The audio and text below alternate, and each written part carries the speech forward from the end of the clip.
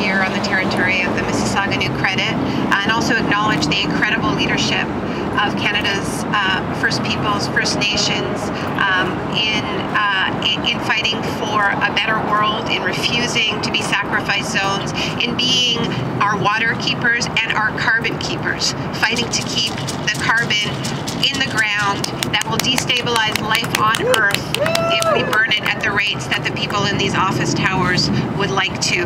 Um, this has been an incredible lineup of speakers. Uh, I want to thank you all Wanda, Jody, Hassan, Melina, um, and Jerry in advance. Um, this is a remarkable coalition. You know, I've had the incredible privilege uh, of traveling around the world and meeting with activists, uh, with with unions, um, uh, with with politicians in many different countries who are focusing on climate change. And I want to tell you that what you're seeing here, in terms of a coalition of grassroots groups representing the most marginalized people in our city, the people treated as disposable, representing the First Nations people of this country, fighting extractive projects at the grassroots and the largest private se sector union in this country representing workers heart of the fossil fuel economy, understanding that we have key differences, but what unites us is greater than that.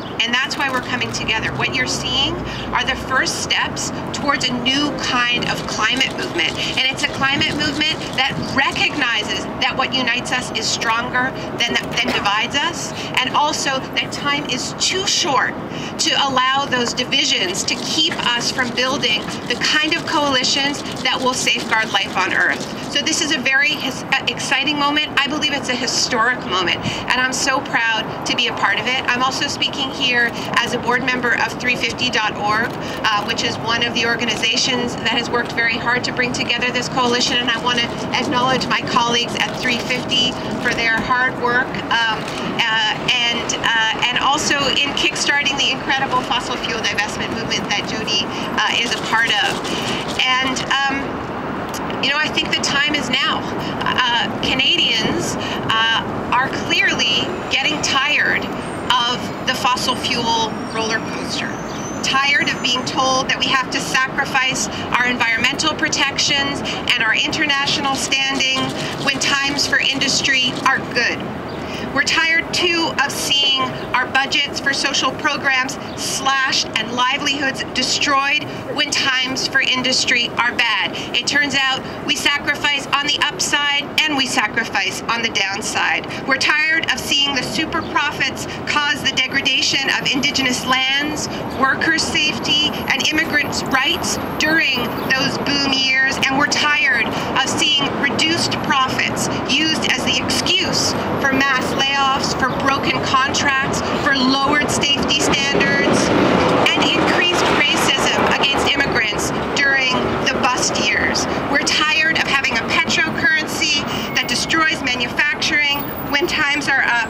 We're tired of picking up the pieces when times are down. We're tired of the huge physical costs of digging up and burning this much carbon. Tired of the polluted rivers, the exploding oil trains, the extreme weather linked to climate change. We are tired too of the merger between our government and the extractive sector. Tired of having a prime minister who bullies other nations into taking our oil and build our pipelines when they don't want it. Yeah. Tired, tired of a Department of Indian Affairs that pushes relentlessly to extinguish indigenous rights in order to pave the way for more mines and more pipelines. Tired of a Department of Foreign Affairs that acts as an adjunct of the mining sector that is infamous from Guatemala to Greece for its violations of human rights. Tired of having our national interest equated with a sector whose business model is to dig up more carbon than is compatible with a stable climate. Now that the price of oil is low, we can see that the price of all of this is simply too high. Like the people of Alberta, the epicenter of the fossil fuel roller coaster, many Canadians are ready to get off this reckless ride. But you know what? We want more than the politics of rejection. I think more than anything else, we're tired of being tired and we're ready to be inspired. We look around the world and we see that a far better economy is possible. We see that we have been lied to for two decades of a Harper government that has told Canadians they have to choose between caring about the climate, caring about the environment, and having good jobs and having social programs. It turns out that this was a complete lie because we're losing it all. We're losing it all. Workers are losing their jobs in the tens of thousands, and we're sacrificing the climate too.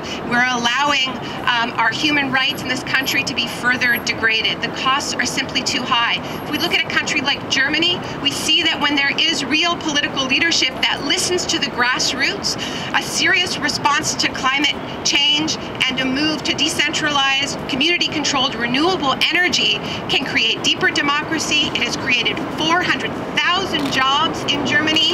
Um, and, you know, this is the real triple win.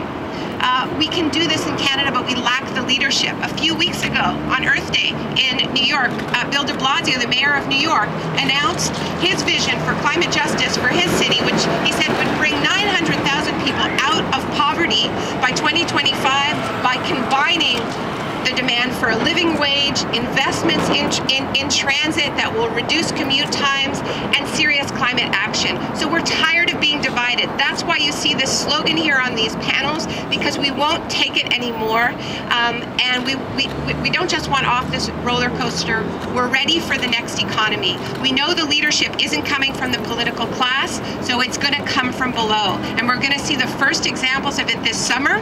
It's going to happen um, uh, a few few days after the Pope launches uh, his climate encyclical, another example of the kind of change that's happening. Um, and I just want to thank all the organizers and, and, and Clay, and over to you, Jerry.